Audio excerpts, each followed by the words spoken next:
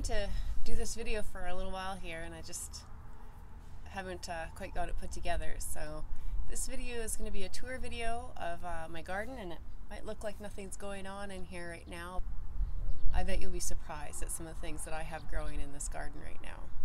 Today is May the 4th. Um, we started off quite cold in April and it warmed right up about mid-April and uh, I've been just uh, raring to get going out here. Usually we would still have snow till partway into April. We didn't have any at all this April, so it's been uh, been deceiving on where we are in the year. But anyway, so I took some clips for most of what I did here, so uh, I'll intersperse those in with what, what I'm doing now, and um, I'll try and get the dates of uh, when everything got planted. I don't have it off the top of my head, but I do have it written down. I think everything, so I'll try and get that uh, put in the video for you too and uh, just give you a little look at what I'm doing here in my Zone 3 garden, Saskatchewan, Canada. So come check out what I have growing. First thing I'm going to do is right out here so you can get a look at some things a bit more. So um, I have eight raised beds in this garden. Six of them are four by eight and then I have two over against that fence there that are two by eight. And uh, as you can see, many of them have covers on them right now. So as we go through, I'll, I'll lift the covers up so you can get a look. My beds are numbered one to eight. Um, number one starts down in the far side here, two, three, four, and it goes across like that. So I think that's how I'll show you what's growing. So let's go over to bed number one. So I just have a, a net on here. I've already seen some flea beetles and I actually saw what appeared to be a, um, a cabbage white butterfly moth thing already. So I tried to cover some things up here. So the lighting here is always a little bit funny in the morning. Um, the fence shades this bed. It's kind of an northeast kind of direction there and uh, unfortunately you're going to get some shade in these couple of beds here but the wind is supposed to get really high again this afternoon which has been part of my issue with with getting this done so I'm just going to get out here and try and get it going so hopefully you can see all this in the front part of the bed, the bigger plants there are broccoli starts that I put out. I started those earlier on indoors and then I had them out in my greenhouse and then I got them put out in the garden. And if you can see the little tiny things there along there and down the next row that's two types of turnip they're just, just getting going. And then I don't know if you can see the little wispy things at the back there. But that's some of my onion sets that I put out. Not sets, um, they were from seed that I started indoors.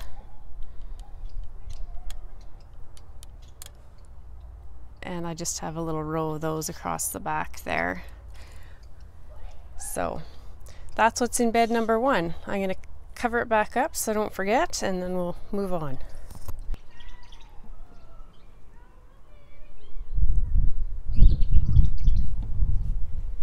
Okay, so bed number two. So again, this bed is a little bit um, in the shadows. So hopefully you can have a look. There's not a whole lot to look at there. Right down in the center there, there's some spinach and you can see it all coming up quite nicely there. And as you can see by the stake, there's kale planted behind it. Um, none of that has come up yet. And then on the sides, have, I believe it's Bintje potatoes planted on the far end and blue Russian on the end closer to us here. And then in the middle at the back, I'm just going to put, um, I have just a few seeds left of a variety of corn I'm trying to get uh, started in the greenhouse. And as long as those come up for me, they'll go in that back little area. So it's going to be a pretty packed bed, but that stuff should all work there well together. Here's bed three. And as you can see, it's covered by fleece, so I'll just lift that off and then we can have a look.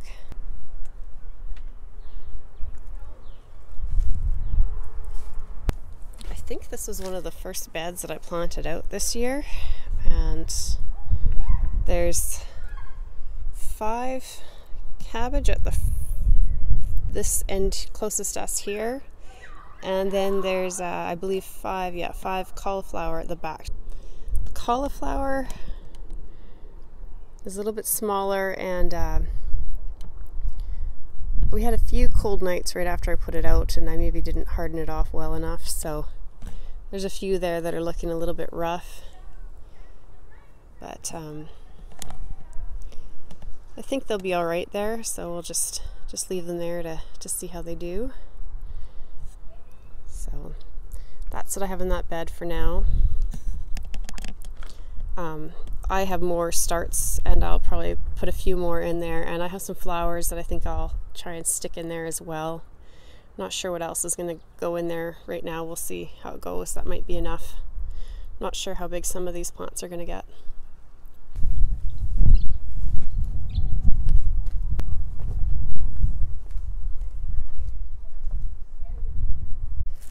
So we're still getting down occasionally to freezing more often just to near freezing and uh, the the fabric the harvest guard on there just helps a little bit few degrees of uh, warmth in there and uh, it uh, protects from insects and things. Hopefully it's keeping you know the flea beetles and things off of the, the brassicas there so I'm going to turn you around again and uh, we'll look at bed four. So this bed is looking pretty much empty. Um, everything that went into here was seeded and I'm actually going to bring you in a little bit closer and just have a look at some of the things I've seeded here. I had radish planted along here and I swear someone's coming up and I don't know if something ate it down before I got out there but it was just starting to peek through and now there's maybe one one little radish there now. I don't know if you saw that. There it is. Right there. So might be oh, I've got a lot of these these weeds here that are coming up. But I'm not sure what happened there. Something munched them down or if watering kind of covered them over. Yeah, look at that one there. Where's my finger? can see that one there.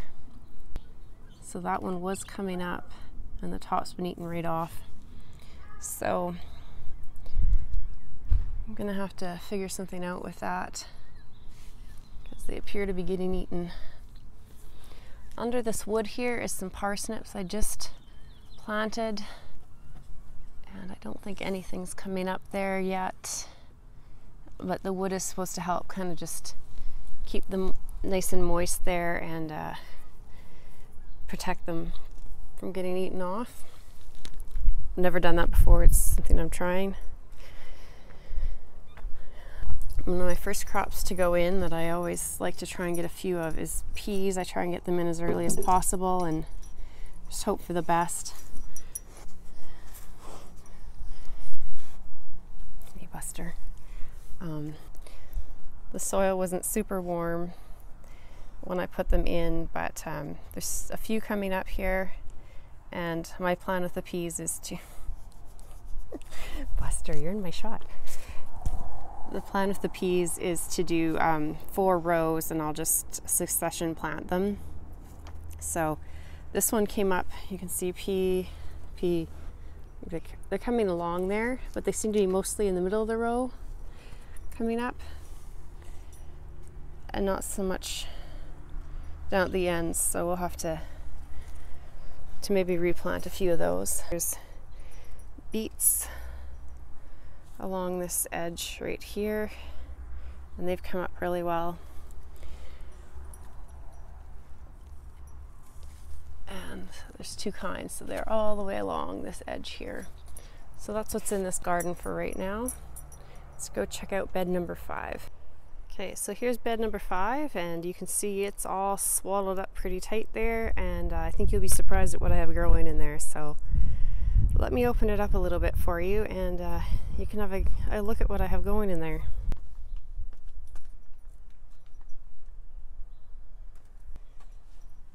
Give you a quick look at the thermometer I had under there. Um, I don't know how well you can. Oh, I don't know how well you can see that there, but I'm not real good at my conversions there, but I'm guessing it's about 15 or more degrees Celsius in there and 62 or so Fahrenheit.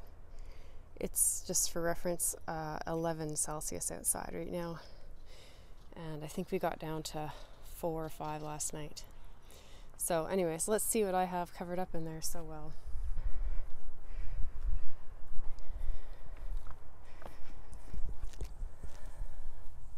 tomatoes.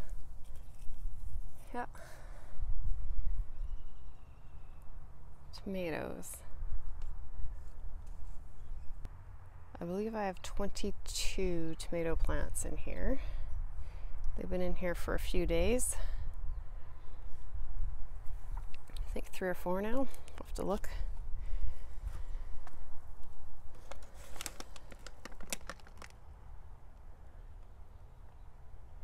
I don't know how well you can see that in there, but uh, you wouldn't know that we uh, are, what, two and a half weeks before our last frost date here. Tomatoes are happy. These are all my like uh, paste and slicer type tomatoes in here. So I have six varieties. There's three or four of each variety. And look at them. They're so happy.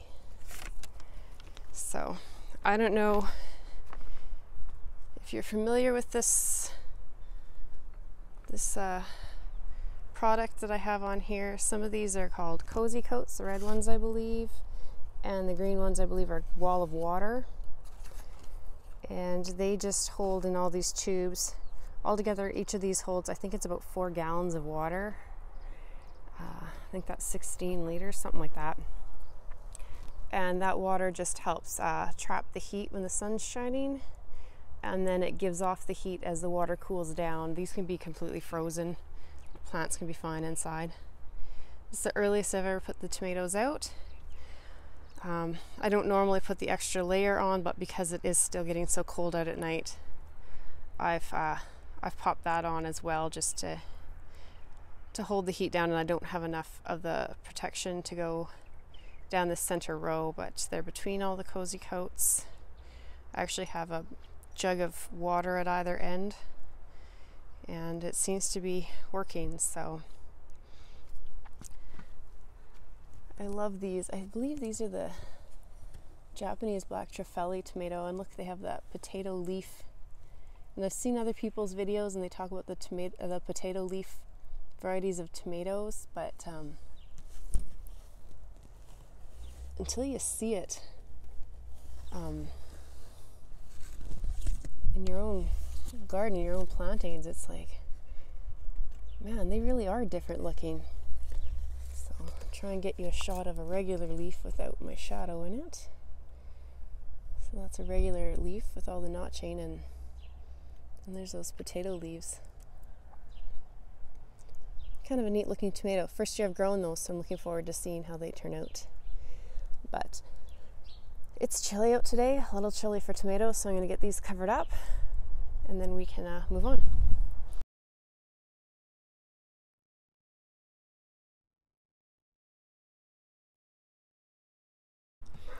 Okay, so what are we at here? Bed number six.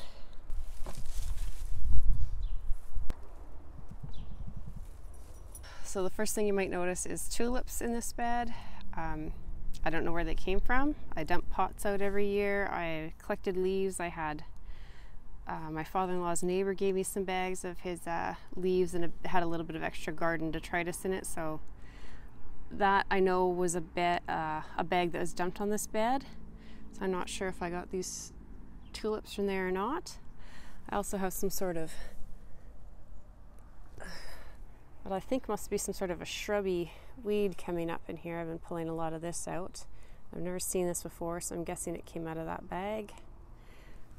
Um, then I have onions planted on either side of the center row here. Those are just from the onions I started from seed this year. And then I have some broccoli plants. So there's four broccoli plants, and then in the back there, there's some uh, Brussels sprouts. I've never grown Brussels sprouts before, so hopefully they turn out well. The very front, I have some pak choi coming along there. There's two rows of those, and they're both seem to be coming in nicely just across the front. And then there's supposed to be kale down at the ends here, and oh, the sun's kind of glaring here, but I think I'm not sure if that's the kale or the pak choi coming there. But that should be kale right in that area there, so hopefully I have that there. I just have the netting on it just again to try and keep um, any critters that think they want to munch on this stuff out of there. So I'll get it covered back up and we'll, we'll move on. We're almost done. This is just netting on this one. There's no, no heat, I don't think, being held in by it. Okay, so this here is bed number seven, and I've had it covered up just to to get it heated up a little bit, but I think today's the day it's just going to have the cover come off. It doesn't really need any more, so I'll just be removing this cover altogether. Let's start down at the far end, far end of this bed because that's uh, what got planted first in here. Hopefully you'll be able to see what's coming up in here. Just barely. I was getting a little worried, and I shouldn't be because it's still early, but I was getting a little worried because my garlic was doing nothing but, I don't know how well you can see, but it's starting to poke through here. So this end here is the garlic I saved from what I grew last year, and then I have a few more that aren't coming up yet that I purchased. I can't even remember. I want to say at a box store or something. Uh, those ones aren't coming up yet, um, but hopefully they make an appearance soon. But the really the it's just been this last week that the uh, beds have been really thawed down. I think to soil level now, and I have the water going on them which helps. So if we go across, should be able to see there onions. So more onions in this bed. Um, hopefully you can see those. So I think I have three three rows of onions going there, maybe just two. There's carrots supposed to be planted along the the back outside edges of these beds and then in in along here and it looks like there's some coming up in that one row so it looks I don't know how well you can see those but it looks like there's a few little carrots coming along in a row there really tiny there's a lot of weeds in this bed too.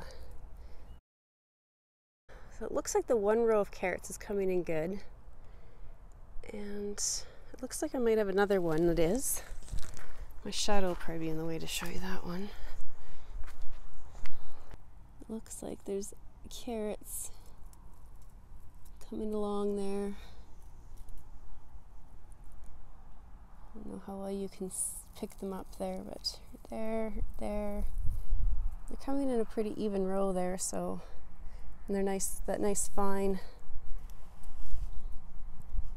look of a carrot. So I think that's what we have going there. Again, weeds. Just waiting to get some of these beds mulched. There's a tomato.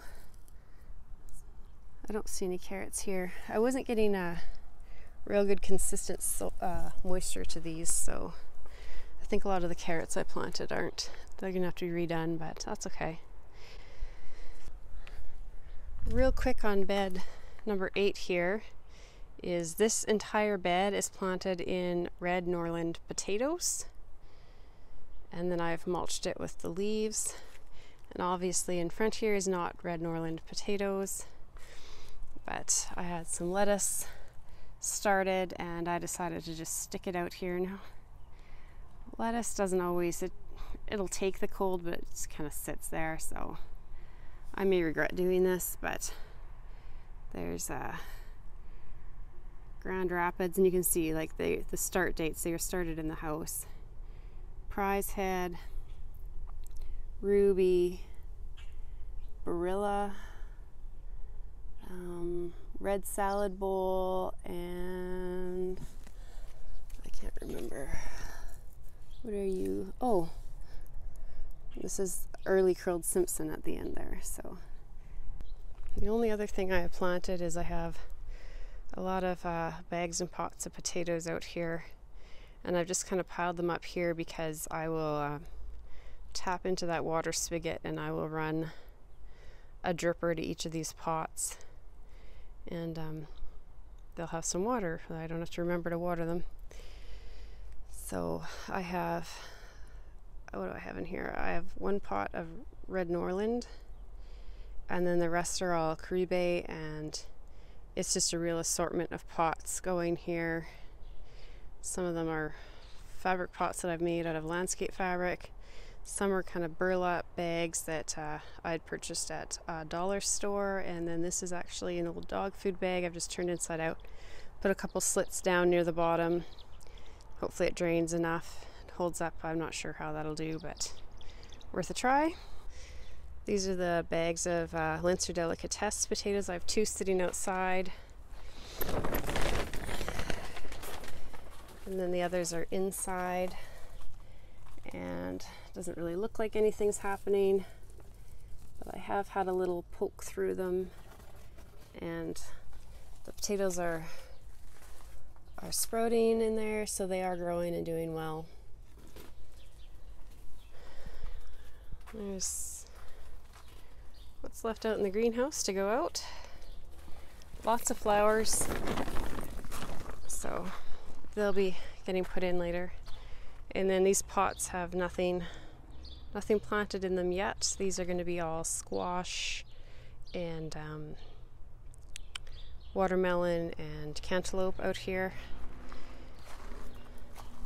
Here's my winter sowing. I'm not sure what I think of this yet. Cleome, nothing. Blazing Meadow Star. I don't know how you can see there is some sprouts started in there. I can't get that one open yet. Most of the tape came off of these. Uh, this is a dwarf milkweed. It's just started to come up this week. I'll give you an idea how cold it is out still. This is, what is this? Uh, three flower avens. A few sprouts there. That was from seed I purchased. Uh, here's some three flower avens from seed I collected. About the same spot. This is bearberry I just planted out this way. There's one tiny little green guy there. Whether it's actually a bearberry or not, I don't know. The other seed is still cold stratifying in my refrigerator for that. This is alum root and nothing. I dropped this one a couple times, so I'm not sure how it's going to do. And lupin, I have looks like three three lupin going there. I don't know how healthy they look. So so that's what my garden's looking like early May. In order to get a lot of these plants growing, I've had to have protection out. I use the plastic covers to heat the soil up uh, in these raised beds. Just um, even a week ago down, you know, six inches was still frozen. So gives you an idea what we're working with here. But with a little bit of uh, planning and foresight, you can get things warmed up and get some things going a little bit earlier. Um, I really don't know if it makes a difference in uh, my harvest because I mean a lot of these things are, are still going to just kind of sit here but cures that itch for me to get out in the garden. So if you've made it through this long of the video thanks for watching and we'll see you next time. Bye